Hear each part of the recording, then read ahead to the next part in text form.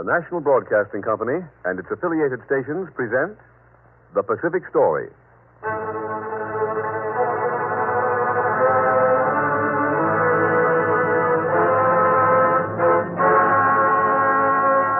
In the midst of the fury of world conflict, events in the Pacific are taking on even greater importance. Here is the story of the Pacific and its people, whose destiny is at stake in the Pacific War. Here is the tale of the war in the Pacific and its meaning to us and to the generations to come.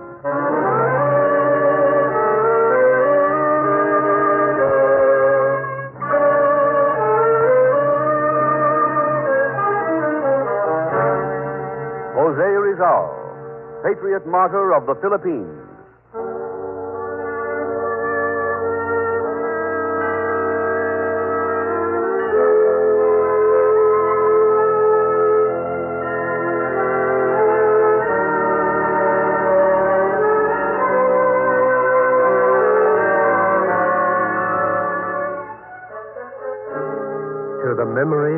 Jose Rizal, patriot and martyr, executed on Bagumbayan Field, December 30th, 1896. This monument is dedicated by the people of the Philippine Islands.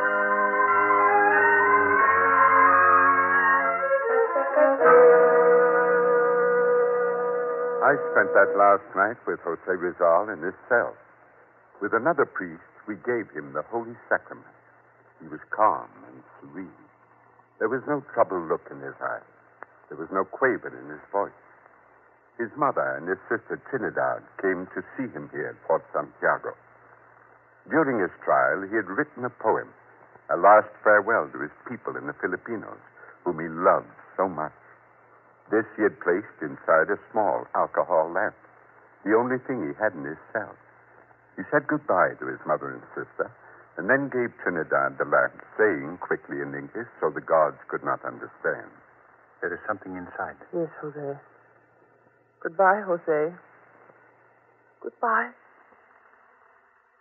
Jose settled himself to wait for the dawn, and in his last hours on earth drifted away. Within my soul, I reflected on the steps that had brought this extraordinary young man to this path. In his early twenties, while he was a student in Madrid, he came upon the idea of writing. Where is Jose Rizal? He's probably studying. Uh, perhaps he's playing the lottery or chess. He never can get enough of these. Well, if he used to be a member of the club, he should come to meetings. Oh, yes. Have you seen him these recent days, Maximo? I saw him in his room. He was reading The Wandering Jew. The Wandering Jew? When I saw him last week, he was reading Uncle Tom's Cabin. He said he was very much impressed by it. He should leave off reading when we have meetings. There's so few of us Filipinos here in Madrid. Yes, I'd say that he. Jose, I'm glad you could come. Hello. We were just talking about kicking you out of the club, Jose. I have been very remiss. Sit down, sit down. Did you bring Uncle Tom's Cabin with you, Jose? It would do all of us well to read that book again and again. Everyone has read it. We could do well to profit by what it has achieved. In what sense, Jose? What Uncle Tom's Cabin achieved in America, and what the Wandering Jew achieved in France, perhaps another book could achieve in the Philippines. Oh, no, I thought it. No, it is true. Both of these books have had a powerful effect on human progress. Yes, Maximo. And a book telling of conditions in the Philippines could show our Filipinos at home that they are slowly being crushed. And you would write this masterpiece, Jose? No, I do not think I could write it, but perhaps we could. You mean all of us? Yes. We know the Philippines. We've spent our childhood there. We could tell the truth about the Philippines. And some of us here, you, Damaso, and you, Juan, could illustrate it. I don't think such an effort would be worthwhile. I think it would be excellent. Do you think you're self-capable of writing, Maximo? I'm not much of a writer, but I could tell what I've seen with my own eyes. I could write about the Philippine women. Yes, you could write about that, Damaso. I believe such a book should be written. No, no, such a book would do no good here in Spain or in any part of Europe. And certainly no publisher would touch it in the Philippines. To show the people of Spain the sufferings of the people of the Philippines. You can never get it published, either here or in the Philippines. And if you did, it would certainly be barred in the Philippines. If the world knew what we know of the Philippines, what just we members of this club know, a great good would be done. You're right, Jose. It would not work. No. Something more than that is necessary. Something better. At least I can tell what is in my heart. And this I shall do. Jose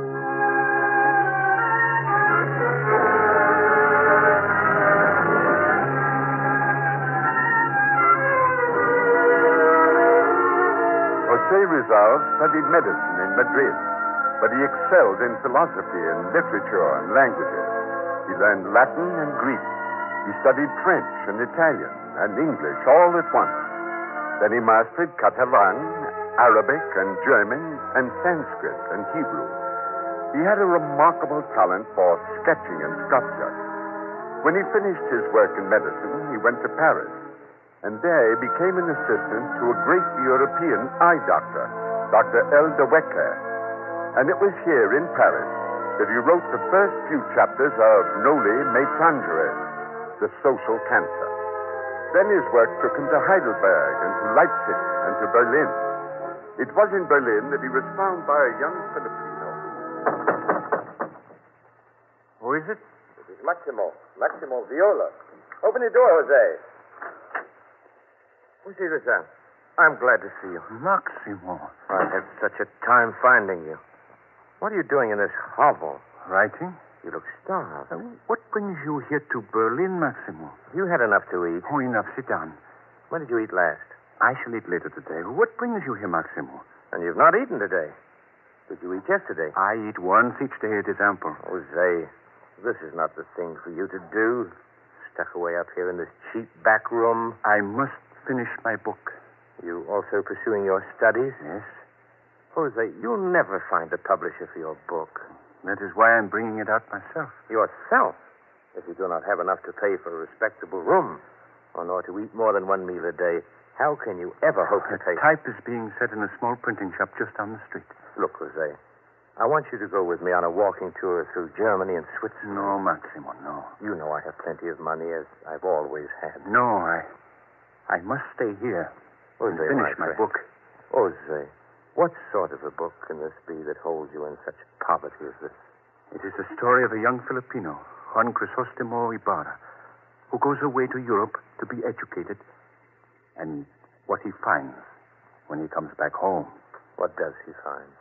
He finds all that we know, that every Filipino knows, Maximo. The tyranny that has chained the Filipinos these centuries. What Spain has imposed upon the Filipinos, the scheming, arrogant, lawless friars, the Spanish government officer who is brutal to the Filipinos but a lickspittle to his Spanish superiors. I am writing of the worthless educational system, the travesty of the courts, the cruelties of the government to the helpless Filipinos. You are right. You must finish the book, Jose. Yes. I must finish it. And then you may go on a walking tour with me. I'll advance all the money. You will help me bring out the book? Yes. You must finish it, Jose. Then leave me. Get out. I must get down on paper all that is surging up in me to be told.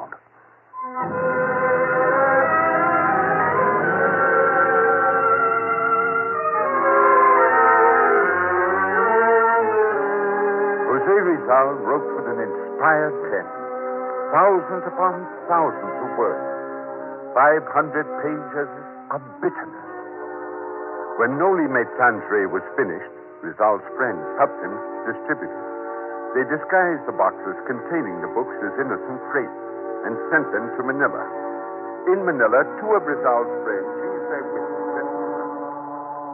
And these boxes, what are they? They contain dry goods. They are consigned to us.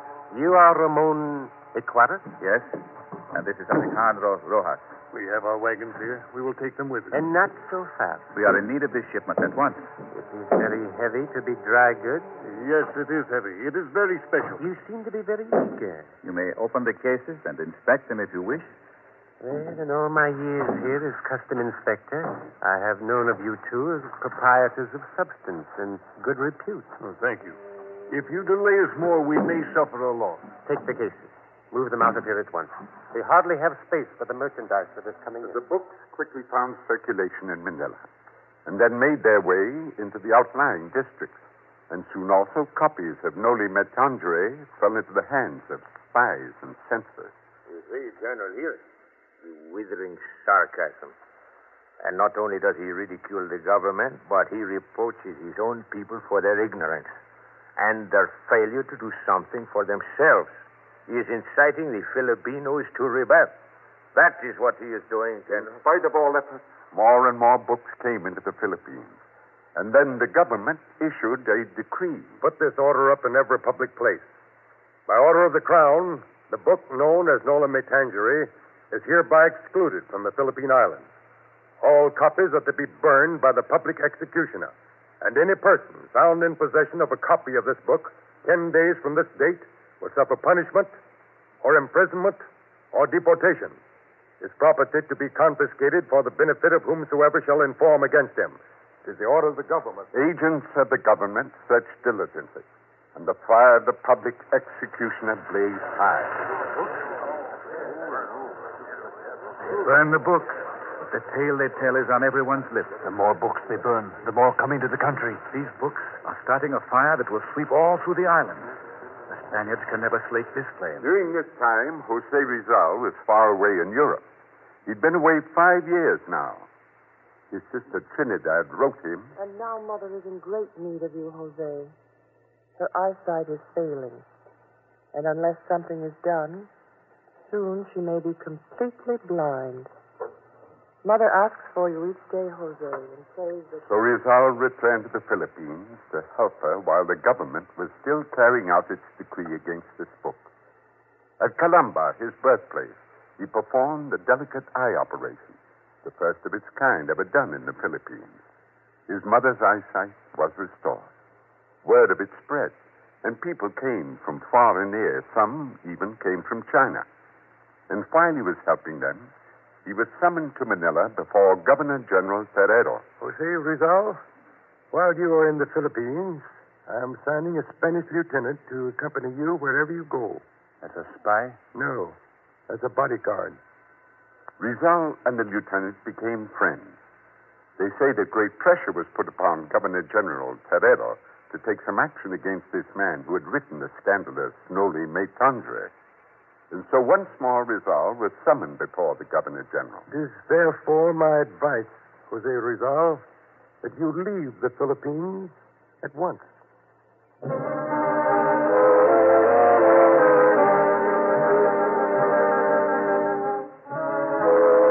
Jose Rizal then went to London.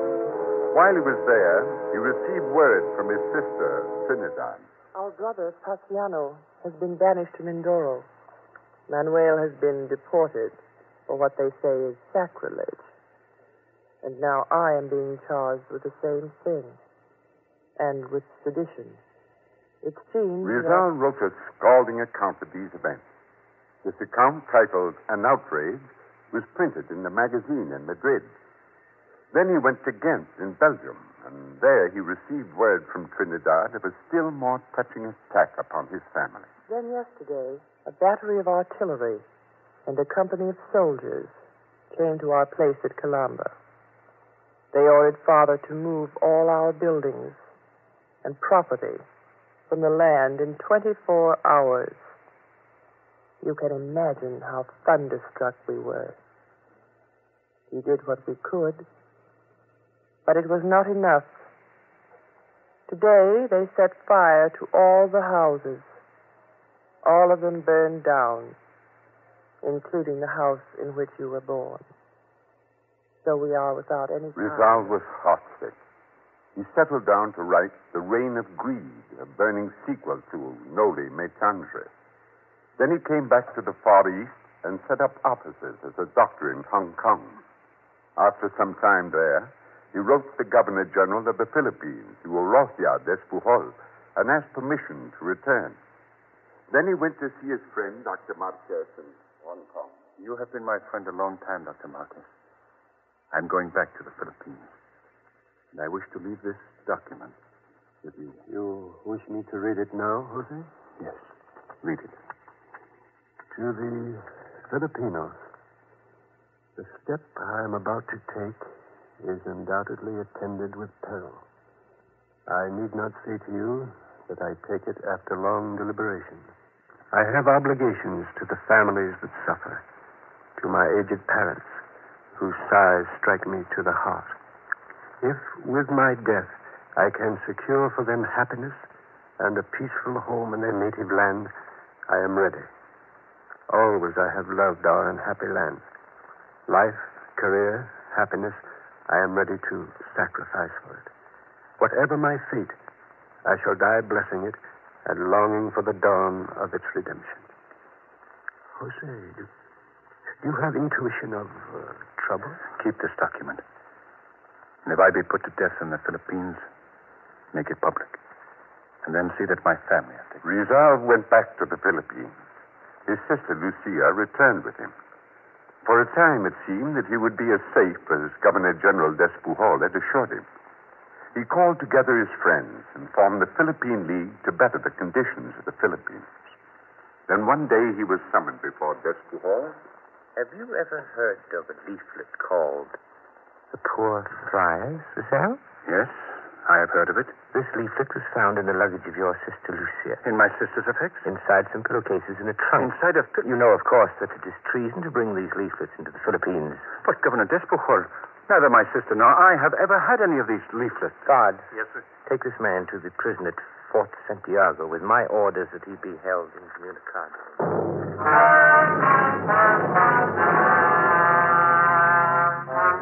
For three days, Jose Rizal was held in prison.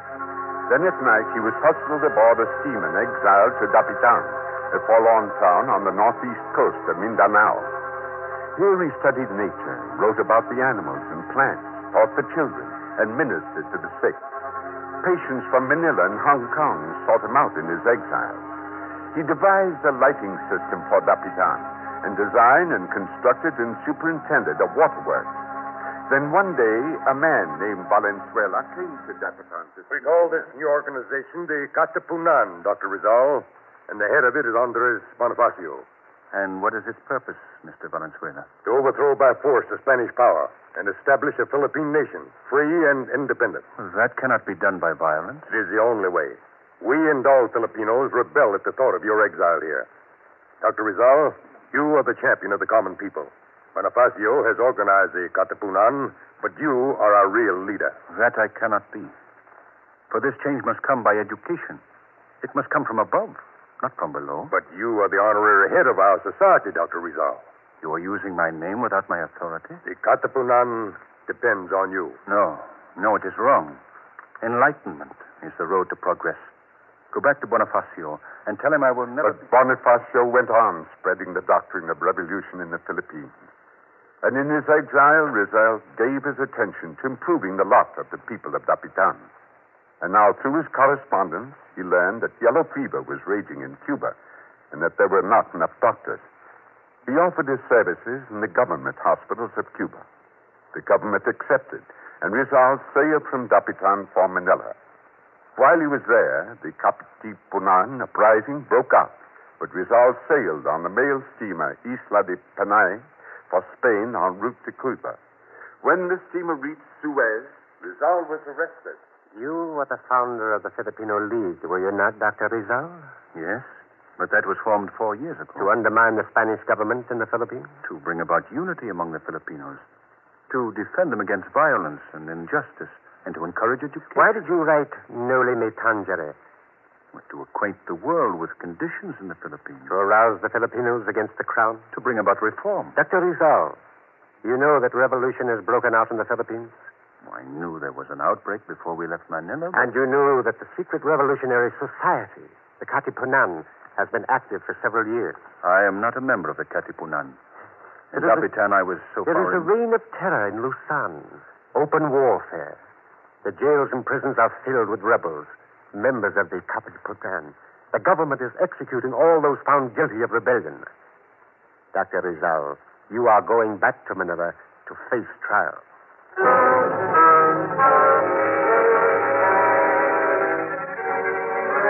I remember when Rizal was brought through the dark doorway of Santiago prison. First, he was put into a dungeon. Later, he was put into a cell on the ground floor. His meals were brought in by his family. Trinidad came to sit with him. Oh, Jose, what they have done to Paciano. My poor brother. They have just carried him home. Jose, they took Paciano to the police office in the walled city. They sat him down at a table and placed a confession before him. A confession? Oh, Paciano has done nothing. No, Jose. It was that you were the one responsible for the Katipunan uprising. Poor Paciano. They put a pen in one hand, a thumbscrew on the other. And they tightened the thumbscrews until. until. Paciano would not sign it. What he has suffered for me. They hung him up by the elbows until he was insensible. And then they cut him down so that the fall would revive him. For three days they did this, Jose. And today they carted him home. he signed nothing. In his trial, Rizal was not allowed an attorney. But a young army officer, who happened to be the brother of the bodyguard appointed for him several years ago, was appointed to defend him. Rizal was brought into the courtroom with his elbows tied behind him, and he sat this way, tied through each session.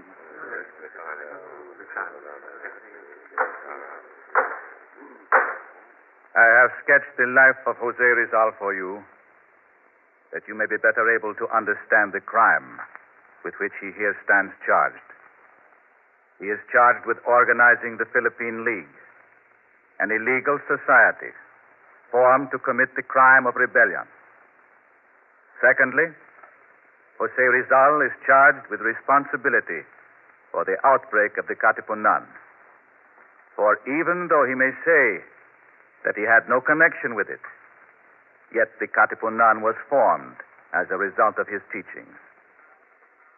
It is the charge of the Crown that Jose Rizal is responsible for the rebellion, having brought it about by his years of agitation. Judge Advocate, proceed with the prosecution.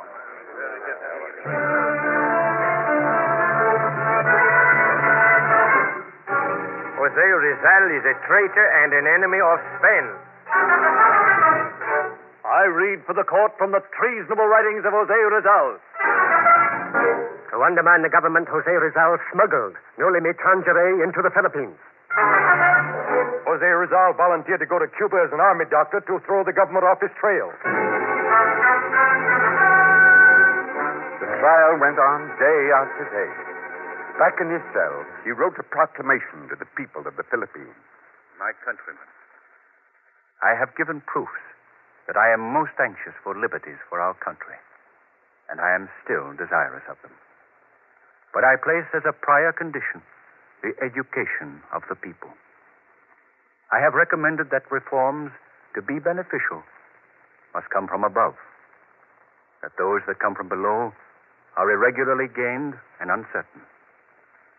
Holding these ideas, I cannot do less than condemn this Katipunan uprising which dishonors us Filipinos. Return then to your homes, and may God pardon those that have wrought in bad faith. San Jose Rizal. I saw him often during those days. He was calm. At last, on December 29th, 1896, the trial was ended. Jose Rizal, you will stand. Stand up, Dr. Rizal.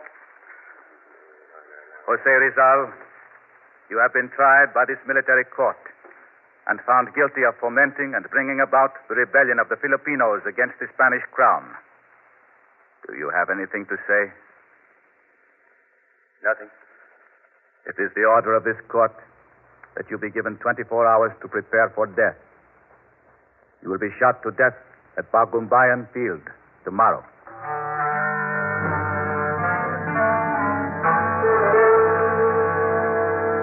Calmly, with tenderness and tolerance in his eyes, he heard his sentence. Calmly, he came back to the prison at Fort Santiago to prepare for death. We administered the Holy Sacrament to him, and I watched him as he talked to his mother and sister. He gave the alcohol lamp with his last farewell hidden inside to his sister Trinidad, and at home she found the poem in the lamp. Farewell, dear fatherland. Clime of the sun, caressed pearl of the Orient seas, our Eden lost. Gladly now I go to give thee this faded life's best. And were it brighter, fresher, or more blessed, still would I give it thee, nor count the cost. On the field of battle, With the frenzy of fight, others have given their lives without doubt or heed. The place matters not. Cypress or laurel or lily white, scaffold or open plain, combat or martyr's plight, tis ever the same to serve our home and our country's need. When dawn came at last, the iron doors of Jose Rizal's cell creaked open. And outside, the troopers gathered to take him to Bagumbayan Field. The troopers bound his elbows behind him. I walked beside him.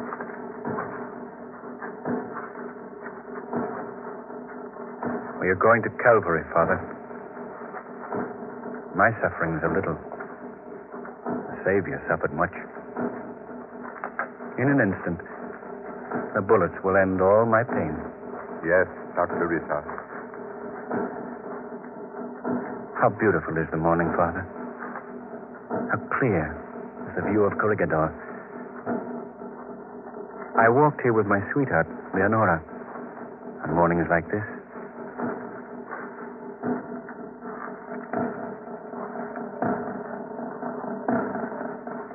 Walked nearly a mile. At last, we were at Bagumbayan Field.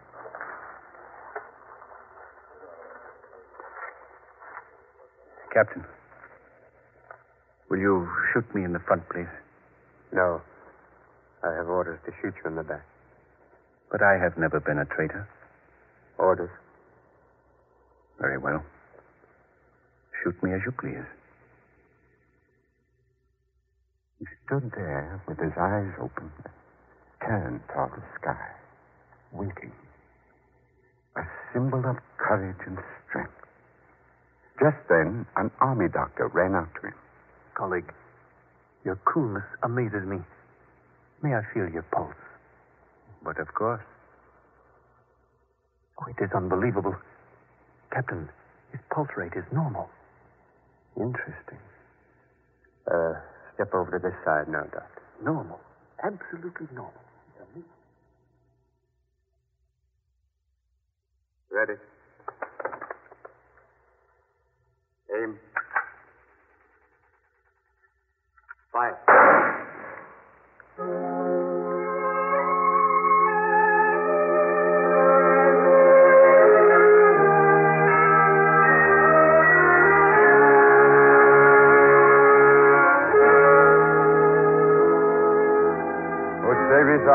Fell face up, and looking up into the sky, died.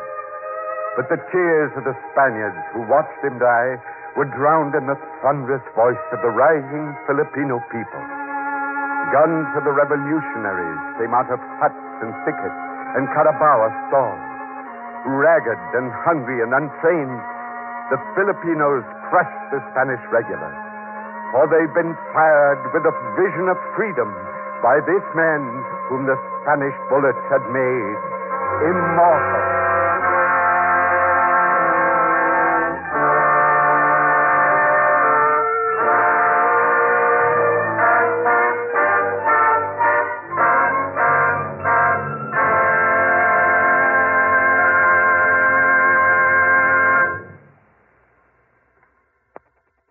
You have been listening to The Pacific Story, presented by the National Broadcasting Company and its affiliated independent stations as a public service to clarify events in the Pacific and to make understandable the cross currents of life in the Pacific Basin.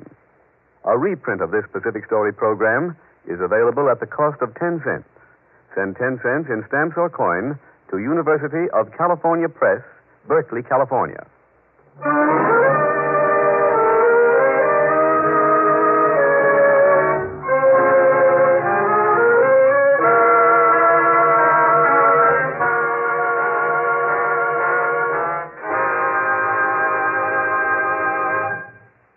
Pacific Story is written and directed by Arnold Marquis. The original musical score was composed and conducted by Thomas Peluso. This program came to you from Hollywood. This is the National Broadcasting Company.